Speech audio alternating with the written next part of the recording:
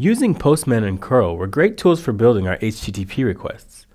But let's create these requests and responses in Python so that we can embed those functionalities into our server-side code. Let's start by writing a simple Python application that does the geolocation API requests for us. I'm going to name this Python program geocode.py. I will import the httplib2 and JSON libraries into my program. httplib2 is a comprehensive HTTP client library in Python. And the JSON library in Python is for converting in-memory Python objects to a serialized JSON representation. Now I will create a function and call it getGeocodeLocation. It will take in an input string that is the name for the place we want to get the coordinates for.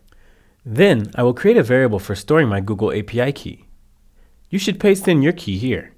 Having your secret keys visible in your Python code isn't the safest practice for live code, but it's fine for this activity. Now, in my input string, I need to replace any spaces with plus signs, such that there are no breaks in my URL path and the server can read it correctly. I do that with the replace function here.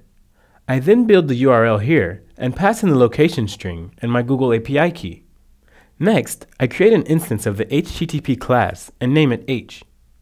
I can now create a GET request with the request method here.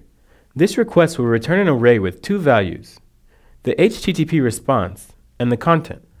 I will call json.loads on the content to format it in a way that is easier to read but still in proper JSON format.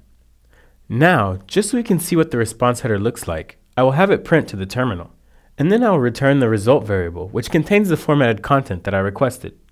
Now I will save my code and start a Python instance in the terminal, in the same directory where my geocode.py file is. I import the getGeocodeLocation method from the geocode file and will try and get the location of my hometown, Dallas, Texas. Here, we can see that our response header contains a successful status code, along with a lot of other metadata that Google provided with our request.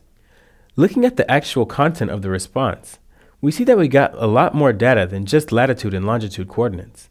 But nevertheless, the information we requested is in the response somewhere. In this next video, let's see if we can figure out a way to parse through all of this information in this response.